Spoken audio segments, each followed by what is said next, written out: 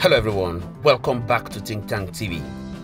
In today's video, we bring you a sterling incident that has taken social media by storm.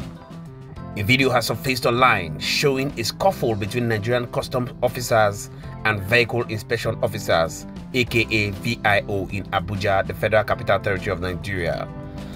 Yes, sources report that the chaotic scene unfolded at the VIO office in Abuja over a disagreement involving money. Tension escalated quickly, resulting in custom officers reportedly assaulting a VIO officer. This led to a swift and fierce retaliation from the VIO camp. It's troubling to see those tasked with upholding law and order now engaging in such lawless behavior. The situation further deteriorated as gunshots were fired by the police in an attempt to disperse the brawling officers. Despite the intervention of peace from eyewitnesses, the officers continued their heated confrontation, exchanging both words and fists.